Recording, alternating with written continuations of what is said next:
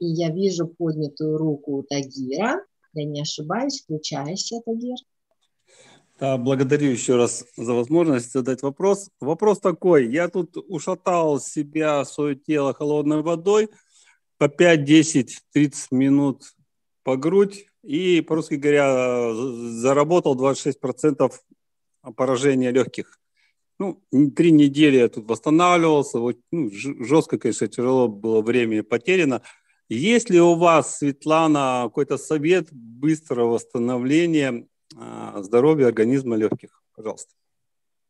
Ну, легкие это, конечно же, обязательно какие-либо дыхательные практики, но я вам дыхательные практики не подскажу, но есть очень много в интернете, вы можете посмотреть. И, безусловно, это опять же моя любимая гвоздика, но ее не заваривать, а обязательно вот эти вот палочки нужно под язычок и рассасывать, и разжевывать, как вам больше нравится. Но более большом количестве, потому что сейчас уже официально доказано, что именно в эфирных маслах гвоздики э, есть какие-то компоненты, которые даже предотвращают коронавирус. Поэтому выздоравливайте. И я еще, наверное, раз повторюсь, что какую бы практику вы не захотели на себе осваивать, э, все нужно делать постепенно и не ориентироваться на кого-то, а только-только на себя.